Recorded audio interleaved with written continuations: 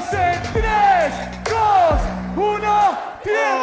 Hey, ¿Qué pedo bonita? Yo soy Drepe del Gorila Soviético. Bienvenidos a todos mis hermanos. Como siempre busco innovar con algo un poco pues novedoso para ustedes tal vez, tal vez no, tal vez ustedes sepan más del tema que yo. Aún así quiero tratar este tema, el arte de la guerra justamente tratado en Fortnite. Porque este libro pues se escribió hace más de 2000 años, es algo que tal vez ustedes llegaron a conocer en algún momento, pero pues se aplican varias técnicas de guerra y también varias actitudes que puedes ejercer en tu vida. Dirán que es pues claro, en cierto punto, aunque en realidad es un video de aprendizaje junto con algo que les gusta, el fornito. Y pues vayamos con el primer concepto que nos dio este gran tío Sun, porque su nombre realmente no sé pronunciarlo, que es, y cito, si te conoces a ti y conoces al enemigo, ni en 100 batallas correrás peligro. ¿A qué se refiere? Obviamente es al hecho de que conozcas las habilidades de tu enemigo y también las tuyas, o al menos también tus desventajas. Si de tu enemigo no puedes percatarte de las debilidades de tu oponente, pues tendrás que fijarte mayormente en tus aptitudes. En esta ocasión, pues menciono obviamente la construcción, el disparo, la habilidad que tienes al momento de pensar jugadas rápidas o bien analizar completamente el entorno para así lograr sacar una pequeña ventaja. Los jugadores profesionales atacan correctamente debido a que tienen una gran capacidad de juego y de análisis, cosa que tú mismo puedes mejorar fácilmente si es que te pones a observar todas las cosas que rodean tu entorno. Y en muchas ocasiones te encontrarás en una gran desventaja debido a una tier party, mataron a tu dúo, mataron a tu squad o bien están enfrentándose contra otros enemigos. Pero aquí un principio fundamental es dividir y vencer. ¿A qué me refiero?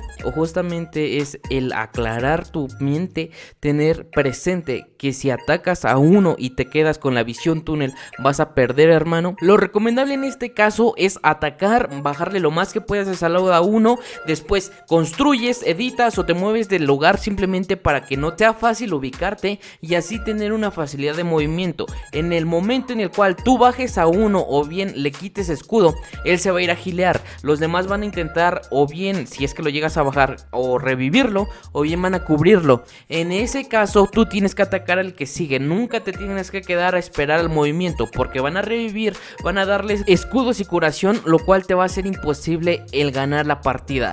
En el caso de que me llegues a decir, ¿y por qué no puedo atacar a todos?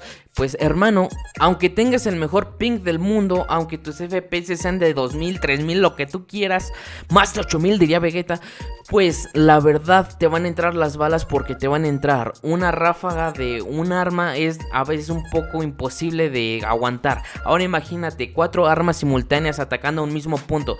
Va a ser imposible que sobrevivas a eso. Otra frase que me encanta de este gran general chino o ex general, pues ya se murió, es la mejor victoria es vencer sin combatir. ¿A qué se refiere a esto? No cualquier batalla se va a ganar disparando, intentando rematar al enemigo o metiéndote a un lugar en el cual tú sabes que no vas a salir con vida.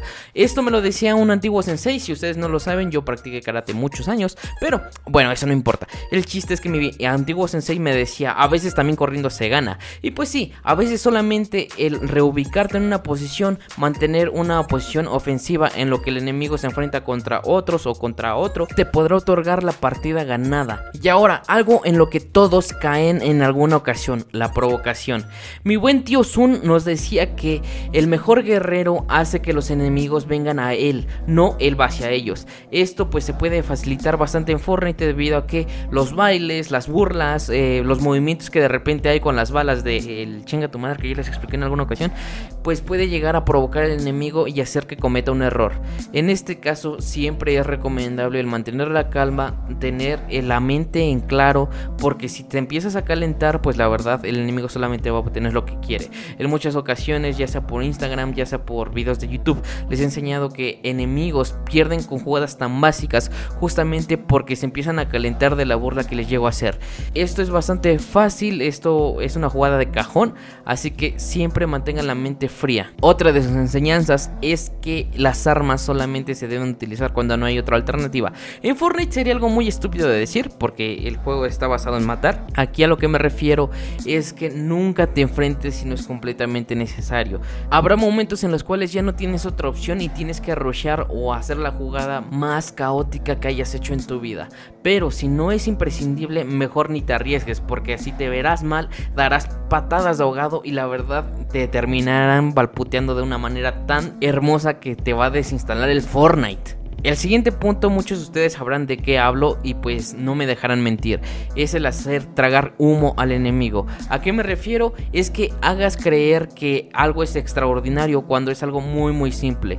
En jugadores que tienen cierto nivel, que tienen cierta experiencia, esto ya no llega a recaer tanto como en jugadores nuevos o los cuales les gusta tragarse esas pantallas de humo que dejan muchos otros que son un poquillo más faroles.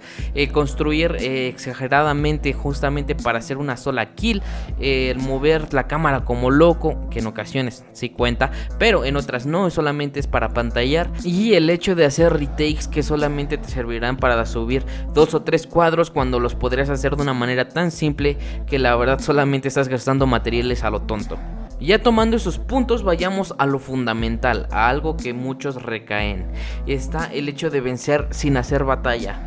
Esto se refiere a que nunca gastes todos tus recursos en un simple enemigo. Puedes atraer a muchos más, pero justamente te vas a debilitar a ti mismo. Vas a gastar tus materiales, tus balas, tus mejores recursos y así cuando llegue otro enemigo vas a perder. Y por último, y una de las frases que más amo es Nunca presiones a un enemigo desesperado, a un agotado va a seguir dando pelea y es algo lo que todos fallan. Muchas veces quieren hacer una jugada tryhard, muchas veces intentan entrar a una estructura sin ponerse a pensar que ese sujeto va a estar spameando su arma, te va a estar esperando con trampas o bien la ley del fornito. Él te va a hacer 2000 de daño y tú le vas a hacer 5 y ahí sí te vas a ver realmente mal. Y por el momento será todo mis hermanos, este video pues fue algo que realmente me encantó hacer. Tengo que admitir que espero que les guste demasiado esta temática porque pues a mí me beneficia bastante en cuestiones de cultura. Espero que a ustedes también les haya gustado. Si ustedes quieren leer el libro se llama El arte de la guerra del buen tío Sun Tzu. La verdad no sé si se pronuncia así, pero ustedes ya me dirán. Así que nos vemos hasta la próxima. Si no me siguen todavía, pues síganme en Instagram. La verdad que ahí comparto historias o publicaciones las cuales están bastante, bastante cerdas. Y nos vemos hasta la próxima, mis hermanos. Recuerden que yo soy Drip del Gorila Soviético Bye, bye.